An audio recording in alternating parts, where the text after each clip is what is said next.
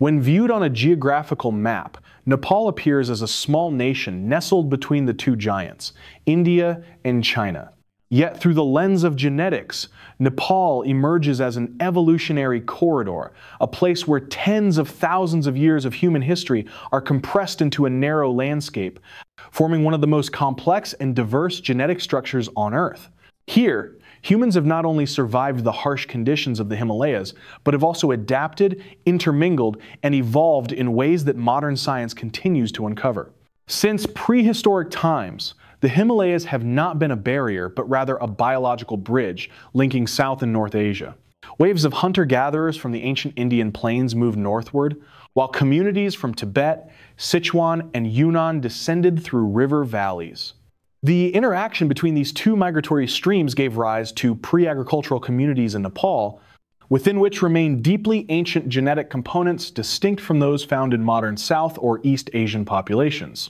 According to numerous archaeological and ancient DNA studies, humans have inhabited the Himalayan region for at least 8,000, 10,000 years, contemporaneous with the period when the first farmers from Mesopotamia and the Indus Valley began developing agriculture. These hunter gatherers carried genetic signatures characteristic of South Asian foragers, distinct from both East Asian and Central Asian populations and they are likely the ancestors of present day indigenous groups such as the Kusunda and the Raute.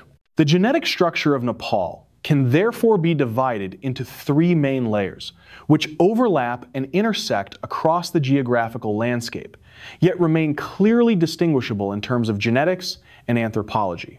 The first layer is the East Asian or Tibeto Burman lineage, originating from the north and east, characterized by populations that migrated across the Tibetan Plateau. They are primarily found in the highland regions such as Solukhumbu, Mustang, and Dolpo, with notable representatives including the Sherpa, Tamang, Gurung, and Magar peoples. In their DNA, Common Y-DNA haplogroups include O3, A3C, and DM, 174 genetic markers associated with ancient East Asian populations.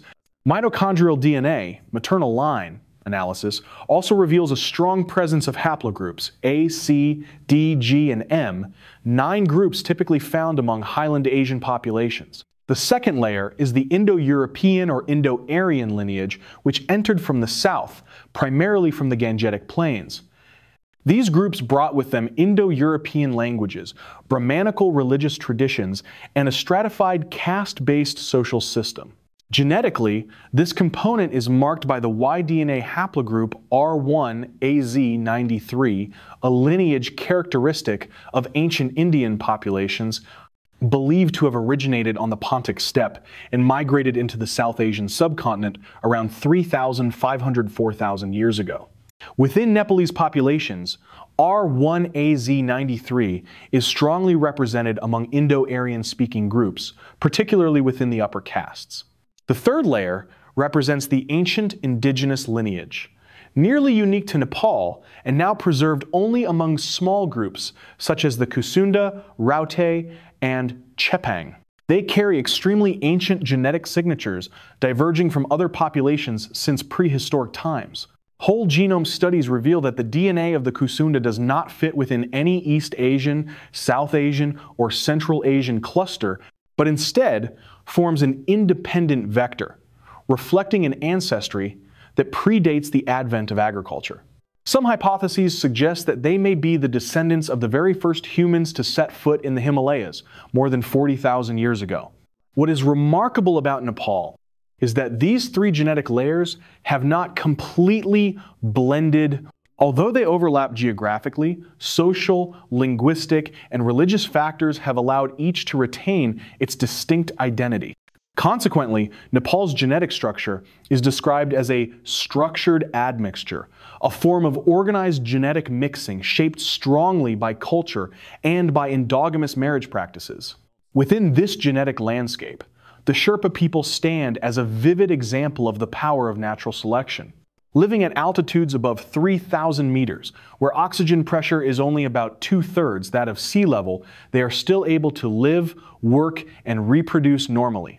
Genetic analysis of the Sherpa genome has revealed the presence of the EPAS, one variant, a gene regulating the body's response to low oxygen, which originates from the Denisovans, an extinct archaic human species that lived tens of thousands of years ago.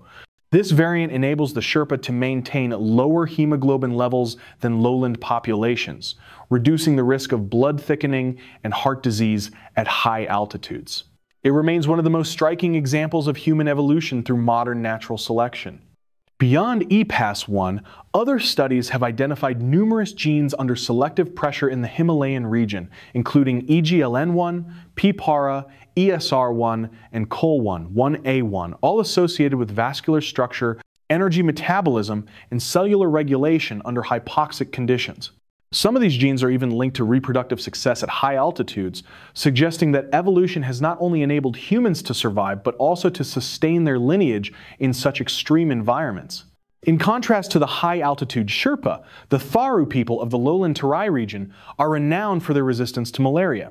Genetic analyses reveal that they have an unusually high frequency of alpha thalassemia and HBE variants mutations that are typically considered disease causing elsewhere but here provide a survival advantage as the malaria parasite Plasmodium falciparum cannot thrive effectively in abnormal red blood cells. As a result, in the humid tropical environment, the Tharu exhibit significantly lower rates of malaria infection. This stands as another clear example of microevolution, a process in which the environment directly shapes the genetic structure of a population. When viewed as a whole, Nepal is not only a crossroads of Asian genetic lineages, but also a natural laboratory of evolution.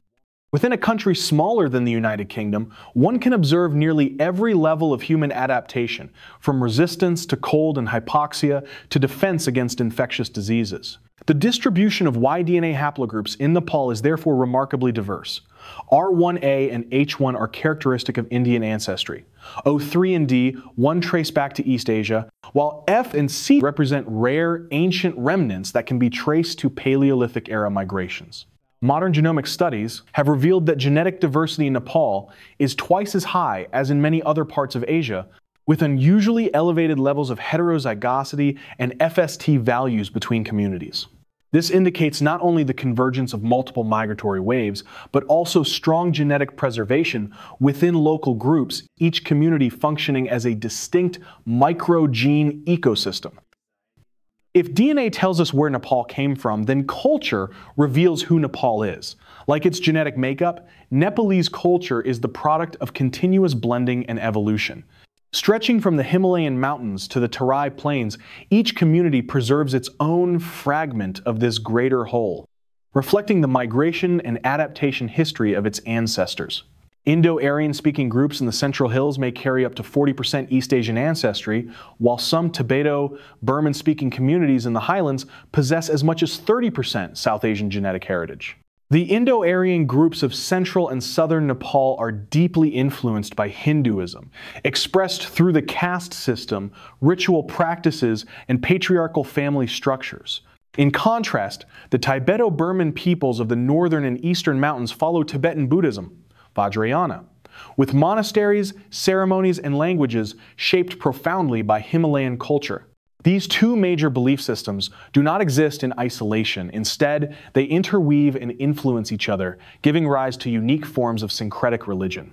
In Kathmandu, it is not uncommon for people to pray at a Hindu temple in the morning and a Buddhist stupa in the afternoon, a rare testament to Nepal's religious harmony. Nepal's music, architecture, and rituals also reflect this multi-layered cultural genome. The lively Tamang Selo folk songs, with their distinctive Damfu drums, embody the East Asian roots of the Tamang people. Meanwhile, bhajans and Maithili folk songs from the Terai echo the tones of ancient India. In the highlands, the Sherpa continue to honor mountain deities through rituals tied to snowy peaks and glaciers, landscapes believed to be the dwelling places of gods. This diversity is equally evident in cuisine, where each region adapts its ingredients to the terrain. In the frigid highlands, people favor thukpa, Tibetan noodle soup, and momo, steamed dumplings, while the lowlands are known for rice, lentils, and curry. Even dietary patterns reflect genetic heritage.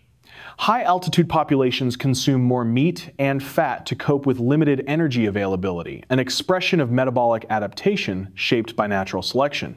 In Nepal, culture and genetics do not merely coexist, they interact dynamically.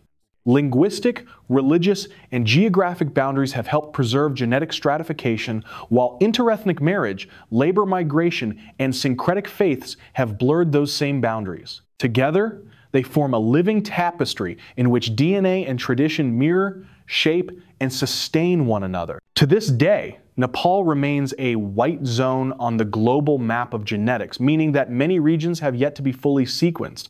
Yet this very lack of exploration makes Nepal a key to understanding human evolution in Asia.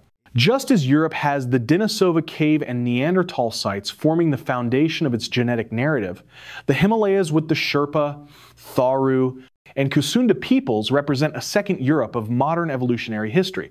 From an anthropological perspective, each ethnic group in Nepal represents a layer of historical sediment. Within their DNA, one can trace the ancient migration routes, climatic upheavals, and survival choices of humankind. Their genetic structure tells not only the story of who arrived, but also of who endured and who adapted. In the future, scientists hope to expand ancient genome research in Nepal to pinpoint the exact timing and directions of the earliest human migrations across the Himalayas. In summary, Nepal is a condensed map of human history, a crossroads where East meets West, the ancient meets the modern, and biology intertwines with culture. Here, Denisovan genes encounter Indo-European ones, hunter, gatherers meet nomads, and ancient genetic variants continue to coexist with modern humanity. Within each of their cells, science can read the story of humankind not through written records, but through the living sequences of DNA itself.